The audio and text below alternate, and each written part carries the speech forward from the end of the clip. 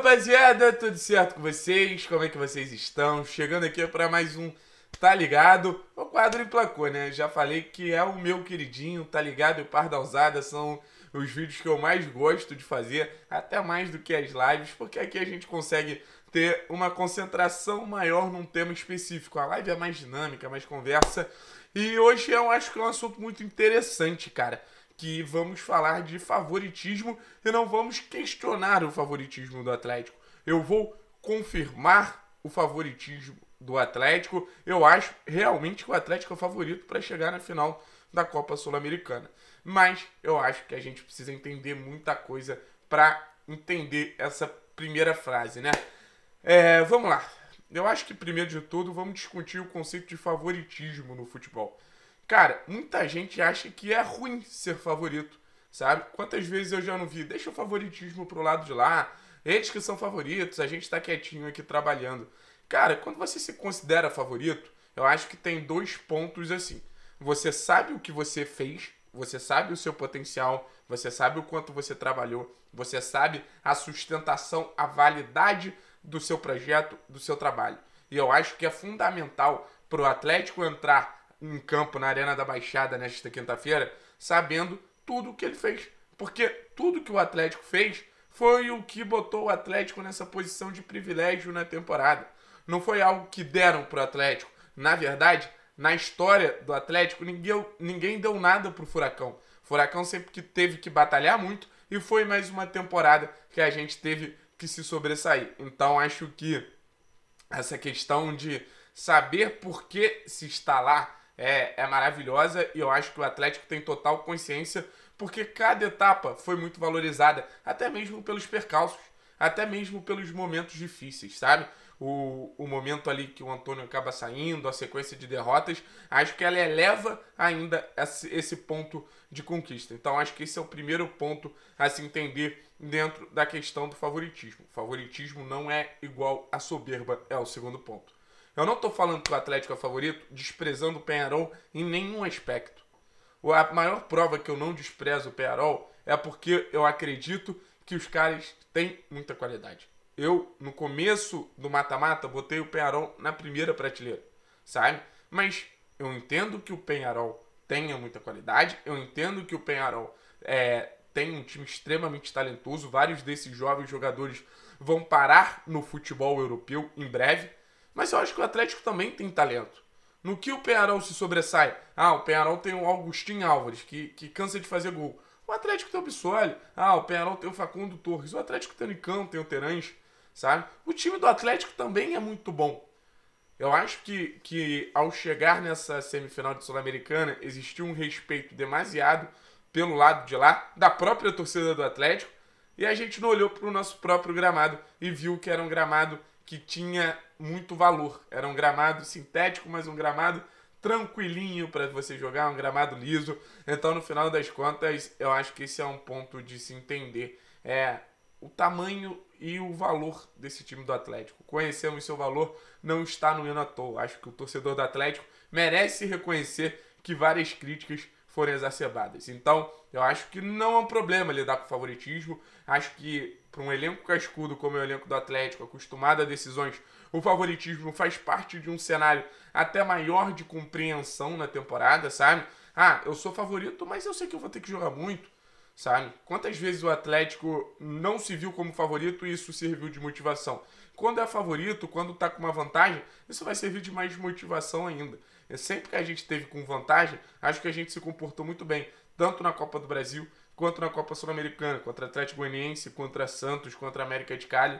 Sempre vi um Atlético muito consistente, principalmente nesses jogos de mata-mata. Beleza, agora a gente entendeu o fato de favoritismo não ser algo negativo.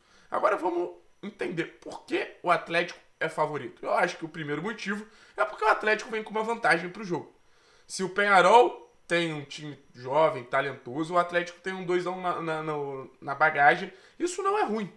Muito pelo contrário, isso é muito bom. O Atlético consegue um baita resultado no Uruguai. Aquele resultado grande da temporada, sabe? Aquele resultado soberbo onde a gente vê que o time realmente está num, num, processo de crescimento cada vez maior dentro das competições sul-americanas.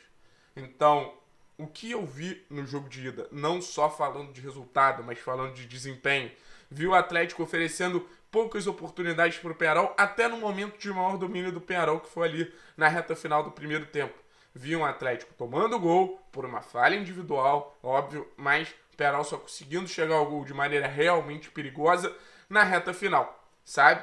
E vi um Atlético conseguindo manusear as intenções do Penarol. O Atlético congestiona o meio-campo e joga o Penarol para os lados. Então só isso já nos transforma no time propositivo. O Atlético está se propondo como se defender e o Atlético está propondo como o Penarol vai atacar. Então, no final das contas, acho que a gente teve muito controle, acho que a gente fez uma partida muito madura e acho que a gente chegou bem na frente, sabe? Não foram só os lances do, dos gols, mas a gente teve uma chance que, que o Teran sai e o Dalson abafa, a gente teve a chance do chute de longe do Eric, a gente teve algumas oportunidades, boas transições. Então eu acho que o que me deixa mais confiante é entender o potencial de atuação que o Atlético teve no Uruguai. Esse é o primeiro ponto. Segundo ponto, questão psicológica. Eu venho batendo muito nessa tecla porque eu acho que a questão psicológica dentro do futebol ou ela atrapalha muito, sabe? Ah, eu não posso perder essa vaga na final. Isso vira um peso que, que às vezes é, destrói o time, sabe? Fato de decepcionar a torcida, fato de mais uma eliminação, fato de medo de pressão. Mas como não passar por esse lado negativo do lado psicológico? Jogando futebol, sabendo o seu potencial. Então, no final das contas, todas as conversas, elas se baseiam no capacidade de entender. Eu cheguei aqui porque eu mereci. E o Atlético chegou até esse momento porque ele mereceu, porque ele fez por onde, sabe? Então, capacidade mental do Atlético também já foi muito mais treinada. Quantas e quantas e quantas decisões a gente já não viu um Santos, não viu um Thiago Heleno, não viu um Abner, não viu um Nicão, não viu um Citadini, não viu um, propriamente um Eric, sabe? Um Pedro Henrique, até mesmo um Bissoli. Bissoli jogou oitavas de final de Libertadores contra o River já, irmão, e fez gol, sabe? Inclusive daqui a pouco vai ser um vídeo muito legal do Bissoli. Então esse elenco é naturalmente cascudo. Naturalmente cascudo. A origem desse elenco, ela já se formou num nível de disputa muito alto. Porque não é algo que vem de agora, é algo que vem lá de 2016. Sabe? Quando o Santos já estava ali, quando o Thiago Heleno se consolida, aí, pô, tô tentando lembrar outros jogadores que chegaram depois. Aí você tem o Nicão, que já estava nesse elenco também. Aí você tem o, o, o Abner chegando em 2019, Cetadini chegando em 2019, você tem mais quem? O Eric, se eu não me engano, chegando em 2019 também. É um elenco que está junto há muito tempo. É um elenco que ao longo da temporada mostrou o poder de superação, sabe? O que é muito importante e o que o Penharol não conseguiu fazer. Qual é o poder de superação que eu falo? Cara, o Atlético tomou um gol, a gente sabe que o Atlético vai conseguir reagir. Que o Atlético vai jogar tanto suficiente para fazer outro gol, para tentar equilibrar ao máximo a partida. E eu não falo isso em só partidas que o Atlético ganhou, não. Como foi inclusive o caso do Penarol, como foi o caso da LDU, como foi o caso de, de vários outros jogos, do próprio América de Cali, jogos que o Atlético perdeu. Contra o Palmeiras, a gente toma o, o gol, a gente corre atrás do empate, logo depois toma outro gol, e poderia ter feito outro.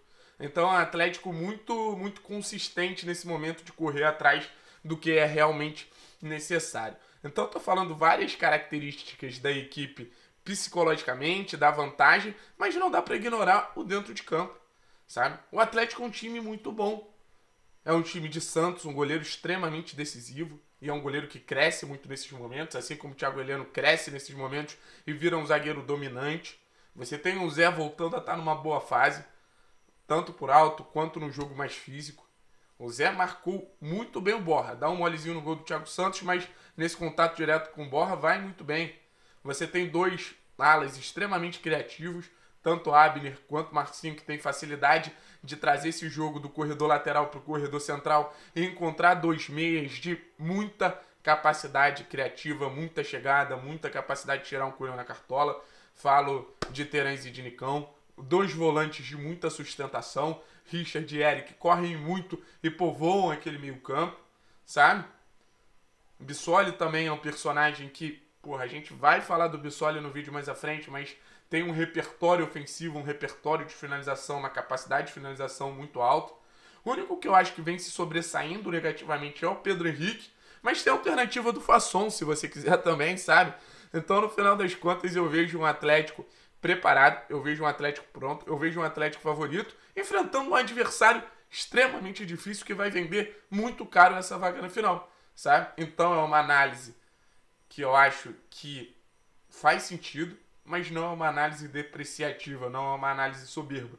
O Penharol vai nos oferecer muita dificuldade. Acho que o Atlético, principalmente, tem um desafio de lidar com esse favoritismo e realmente não criar um cenário de desvantagem para depois correr atrás. Algo que a gente já viu esse Atlético fazendo, tá ligado? Então, mais um tá ligado terminando com uma frase forte, com uma frase de impacto. E amanhã já tem grande decisão da Copa Sul-Americana e eu conto com vocês aqui comigo, hein? A live, se na última live foi 6 horas e 45, vamos bater 7? Quem sabe 8 horas de live? Vamos junto que é nós. Valeu? Tamo junto.